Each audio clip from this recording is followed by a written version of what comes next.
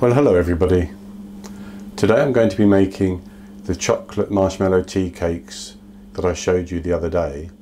Um, and these are uh, a biscuit with marshmallow on top with a dome of chocolate on top, or the chocolate actually covers the whole thing.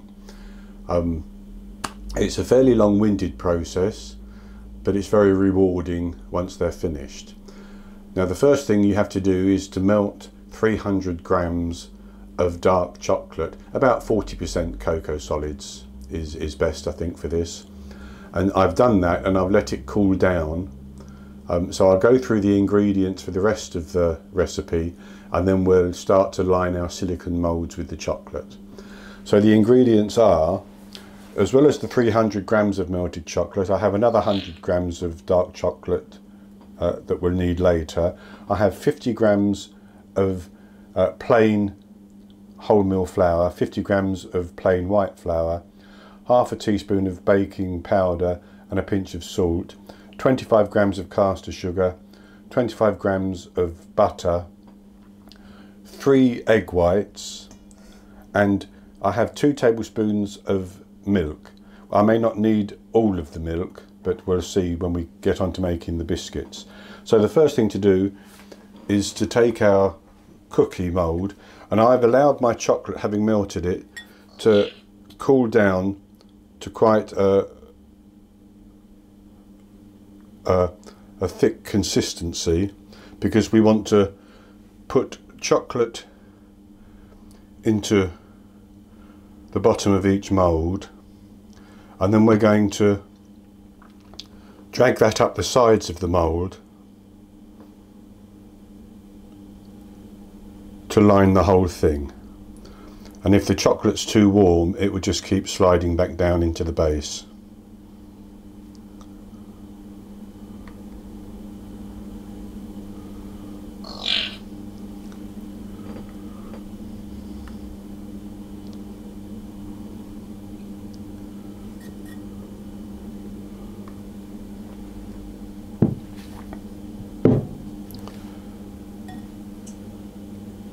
So with the chocolate in the mould, just going to drag it up. Now you want it thick enough that it's going to um, stand up properly. Oops. But not too thick. But it has to be robust enough to have the biscuit attached to it later.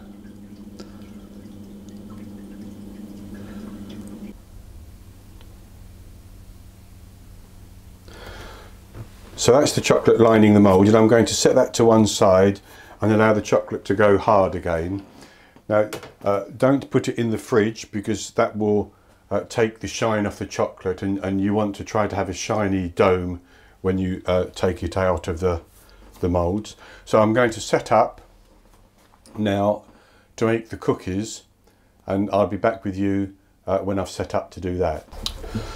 Right, so what we're going to do is to put our plain flour, our wholemeal plain flour, the baking powder and the salt. And the sugar into a bowl. And just give that a mix round.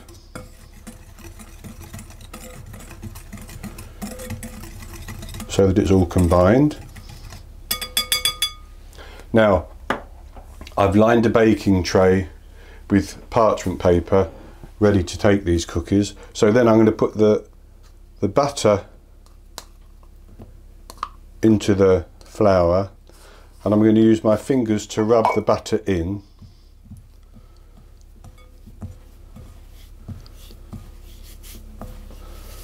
And I have this butter at room temperature.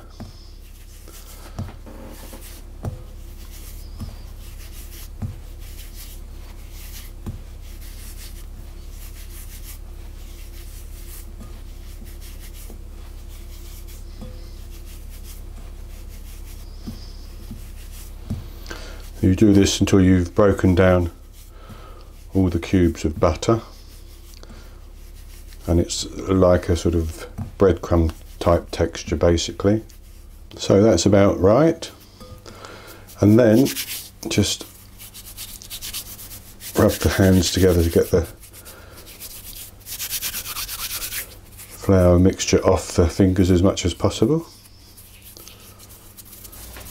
I'm going to take a spoon and I'm going to pour about half, so about a tablespoon of the milk into the mixture and I'm going to mix it together try to form the biscuit dough. I may have to use more of the milk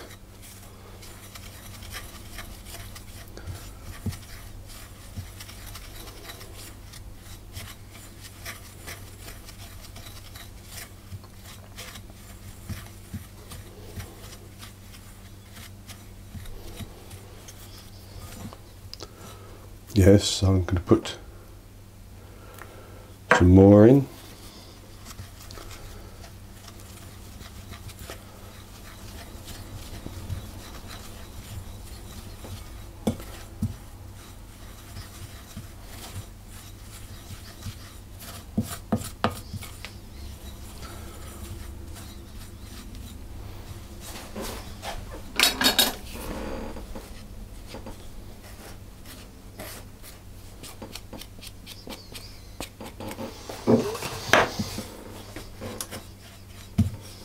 See how that's coming together?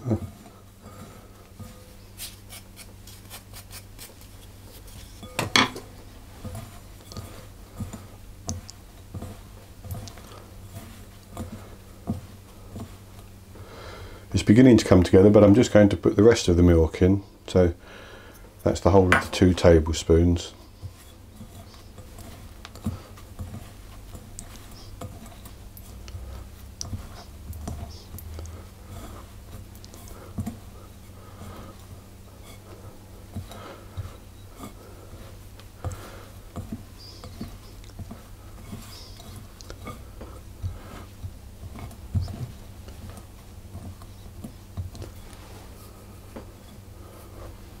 It's almost come together now.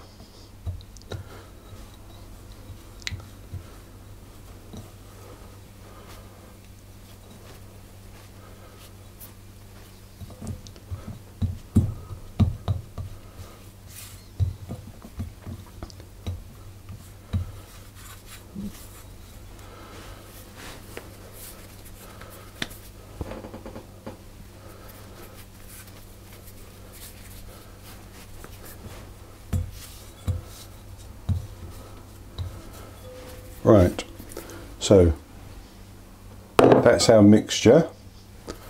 What I'm going to do is just roll that out to just over a quarter of an inch of thickness probably.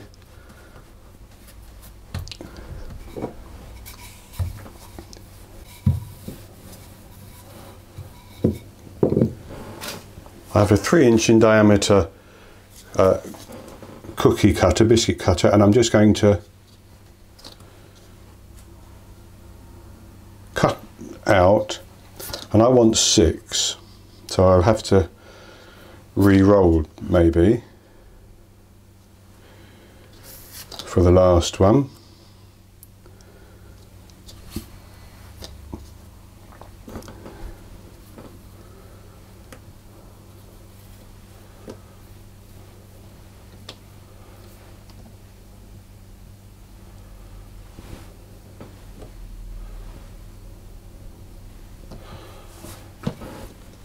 What I'm going to do is take my baking sheet and carefully transfer these onto the sheet, trying to keep them round.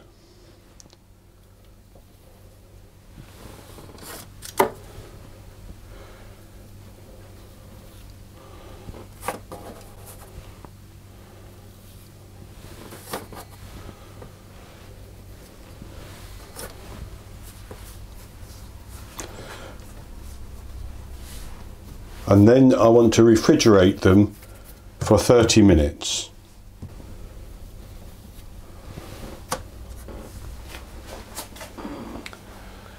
And having refrigerated them for 30 minutes, I will have preheated my oven to 170 Celsius, that's 150 Celsius with a fan, uh, 325 Fahrenheit, and I'm going to cook them for uh, 10 to 10 to 12 minutes until they've gone uh, nice and hard. You want them hard because you're going to uh, toss them or turn them over in the chocolate and you don't want them to break while you're working with them. So uh, I will be back with you when these have come out of the oven and they've cooled down and we'll go on to the next step. Okay, I'm back with you and I've taken our cookies out of the oven and let them cool down. Now, what I actually did, because the diameter of my uh, moulds is two and a half inches, um, I actually uh, partway through baking the cookies, I actually used a smaller cookie cutter just to cut them down to about th that right size. Uh, you don't have to do that. If they overlap the the top of the, the mould, that's fine. I just thought I would do that and see how they turn out. So the next thing to do is to take our melted chocolate and I actually put this back on the heat to melt it a little bit more. Now you could uh, dip the chocolate, uh, dip, the, dip the, the biscuits into the chocolate and coat them all over. But what I'm going to do is do that in two stages. Um, I'm going to put some chocolate on the top and spread that round the sides. And then when that's hardened, I'm going to turn them over and just put some more chocolate on the bottom. Um, I find that probably slightly easier and less messy.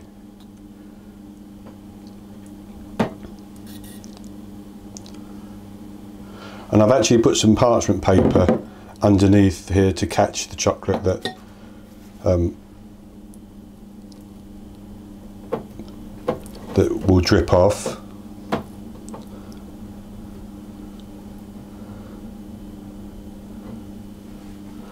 So I want it to I'll just get a, a fork so I can hold that in place a little bit.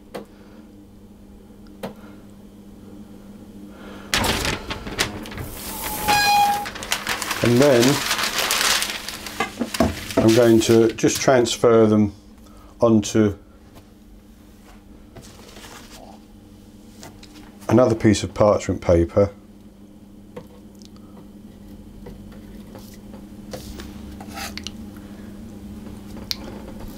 and where the, any chocolate may not be on the side I'm just going to fill that in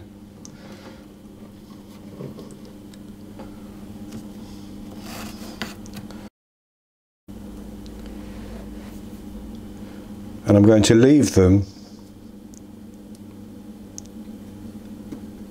until the chocolate's gone firm, hard.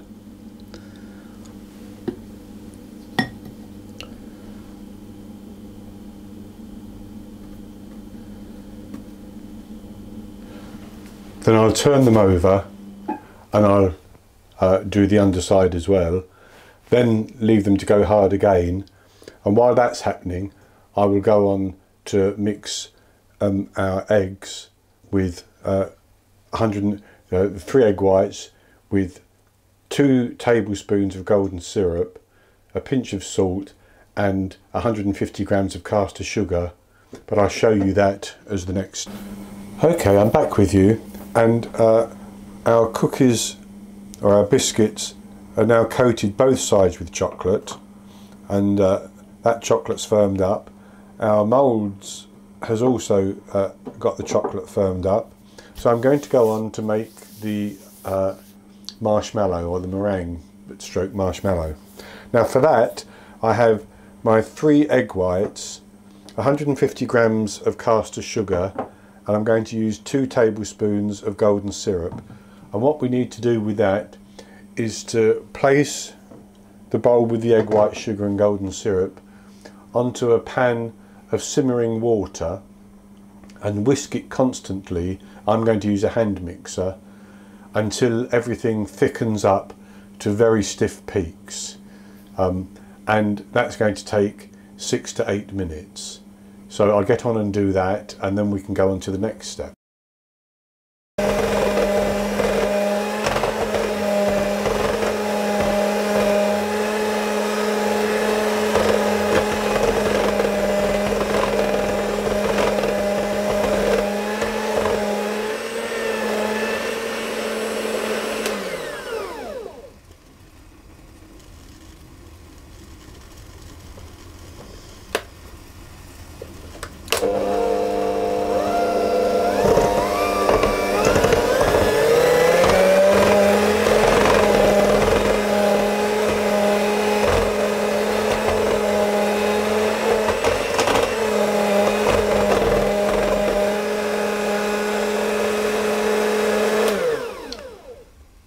Okay, so I have that at the right thickness now.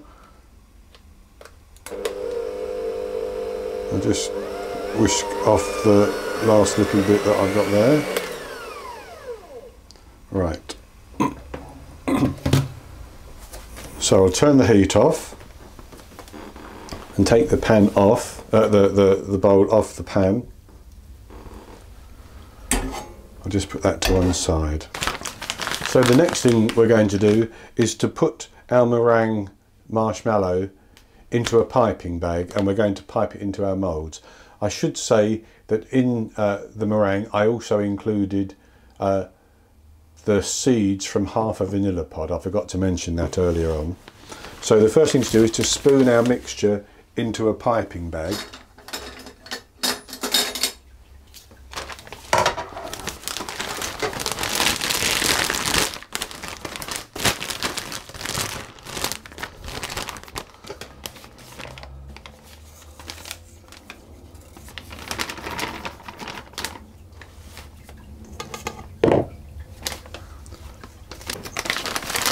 Right, so having got the mixture in the piping bag,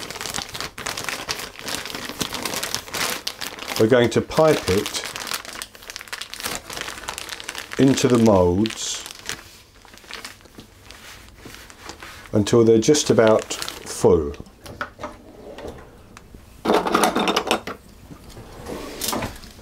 So I'm going to cut the end off my piping bag.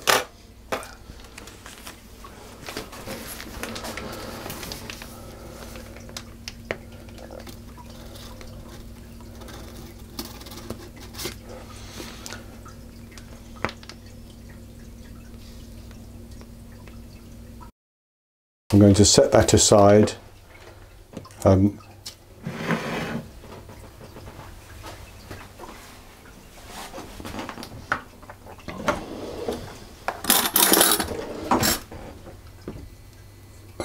try to spread it a little bit, level it off.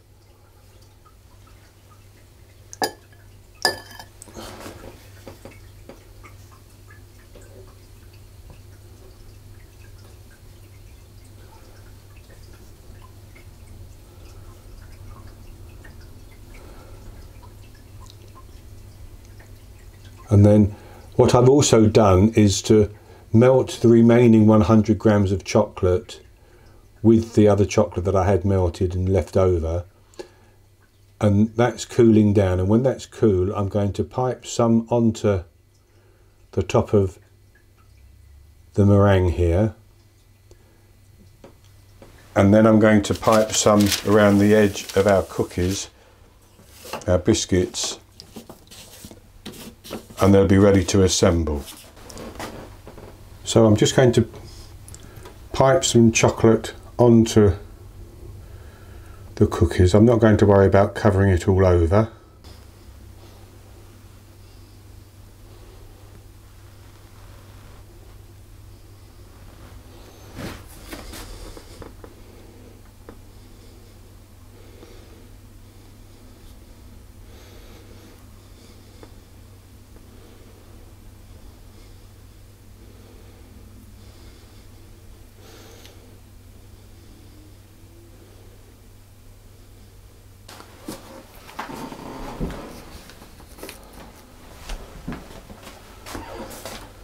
And then we'll take a cookie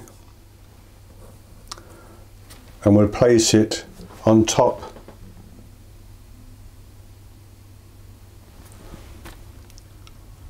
like that.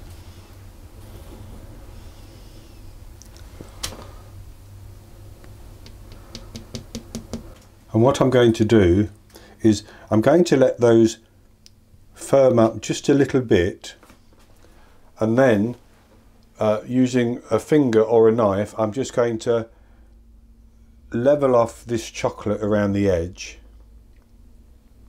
so that it's as smooth as I can get it then let them firm up completely and I'll be back with you to turn them out uh, of the moulds and we can see what they look like. Okay, I'm back with you and um, I think our uh, chocolate marshmallow tea cakes have firmed up enough that I can take them out of the mould.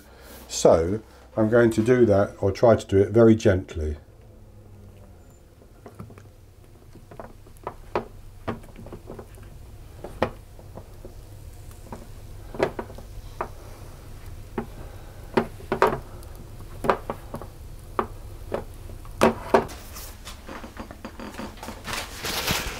Okay, so I'm back with you and I've taken the uh, mar chocolate marshmallow tea cakes out of the silicon mould um, and I noticed that I had the chocolate in the mould a little bit thin um, on a couple of them. It's all about the thickness. If you have it too thick um, then they're difficult, not, not difficult but it, it's not quite the same as the ones that you can buy in the supermarkets. So what I'm going to do um, is I'm going to take a knife and see if I can cut one to show you the insides.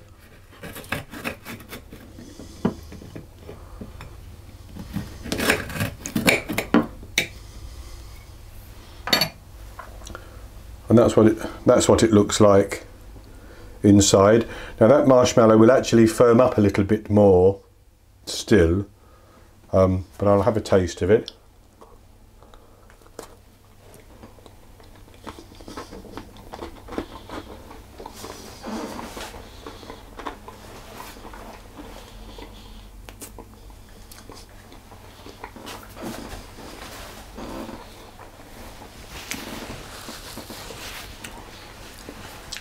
Mm. It does taste, or they do taste very, very good. There's a lot of messing about to make them because you have the um, melting of the chocolate, the making of the meringue, the making of the cookies, and then sort of assembling everything in the moulds. Um, so it takes quite a while, but it's worth doing. So that's it for this recipe. I hope you've enjoyed it, and if you have, please give me the thumbs up. Um, and also uh, click to subscribe to my YouTube channel. I will also put a link in the top right hand corner of the screen that you can click on to get to the recipe. And below the video I will also give you a link that you can go to uh, get the recipe uh, from there. And I will be back with you with another recipe in the very near future. So until then happy baking